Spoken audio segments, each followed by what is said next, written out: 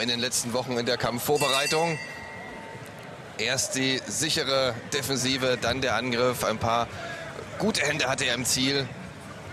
Auch in Runde 6 zur Halbzeit des Kampfes liegt der Herausforderer vorn.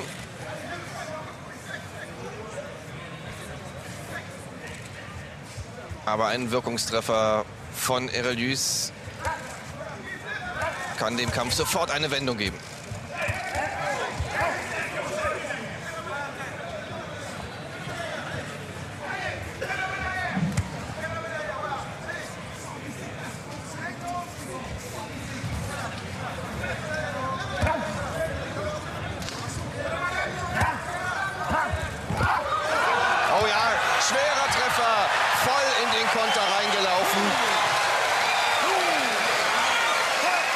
ersten Mal ist Erelius am Boden. Kann er sich davon noch mal erholen. Blutet heftig aus der Nase. Kampf wird nochmal freigegeben. Was macht jetzt Hernandez? Setzt er nach? Sucht er jetzt die schnelle Entscheidung? Ein Trommelfeuer und das Handtuch ist da. Der Kampf ist entschieden. Aus dem Nichts hat er hier seinen ersten Titel erobert. Erelius ist geschlagen. Und da hat man die ganze Klasse auch von Joan Pablo Hernandez gesehen. Uli Wegner freut sich, das sind fast Tränen in den Augen. Er hat an diesen Jungen immer geglaubt. Er hat auch diesen schweren Rückschlag überstanden. Erelius schwer getroffen von der linken Schlaghand.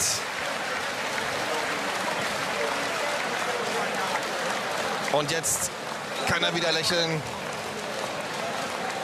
Joan Pablo Hernandez im Kampf hochkonzentriert. Und jetzt schauen wir uns das Ganze nochmal an.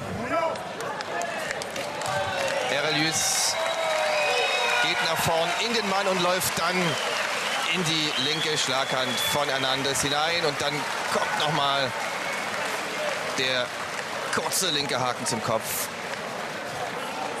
Und das war die Entscheidung des Kampfes. Auch wenn dann Ringrichter Smoger den Kampf nochmal freigegeben hat.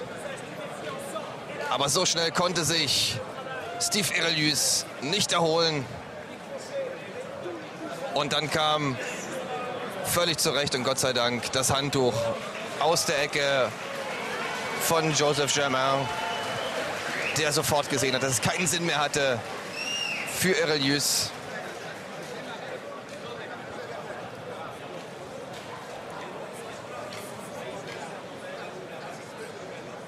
Da das Handtuch im Ring und das auch das Zeichen für das Ende des Kampfes.